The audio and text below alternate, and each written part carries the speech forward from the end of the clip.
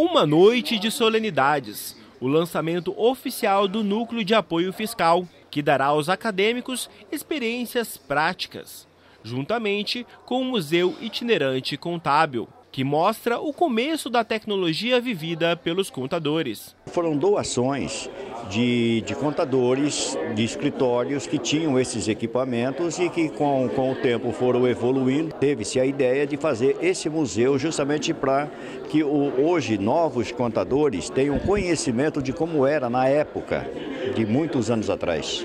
Na verdade, o museu é até novo perto do que realmente é a história da contabilidade, se a gente for analisar, né? E isso mostra quanto que foi cresceu a nossa história, como que foi a modernidade, foi atuando na contabilidade, na verdade.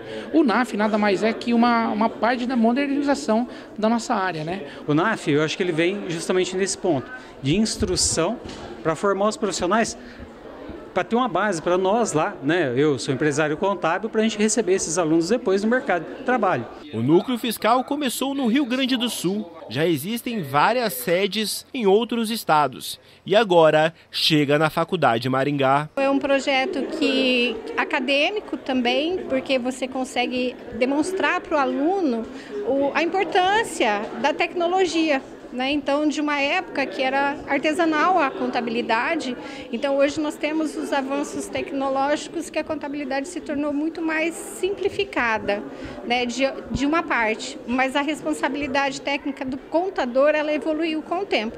A noite de hoje foi o início de ganha-ganha com o projeto do Núcleo de Apoio Fiscal Contábil. Ganha a administração tributária porque é, recebe é, serviços mais bem feitos, com profissionais mais bem preparados, é, as coisas chegam à receita de forma mais elaborada, mais correta.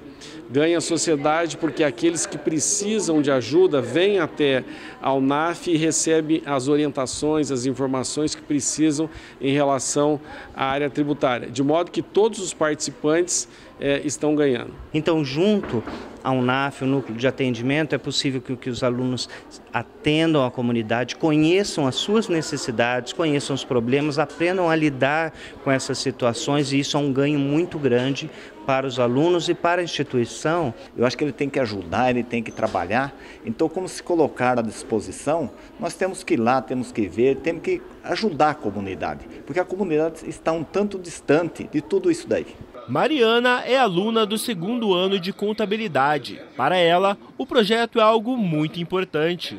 Vai abrir as portas né, para a gente no mercado de trabalho e na parte de conhecimento eu acredito que vai agregar muito na parte prática. Né? A gente vai usar a teoria e a prática juntos.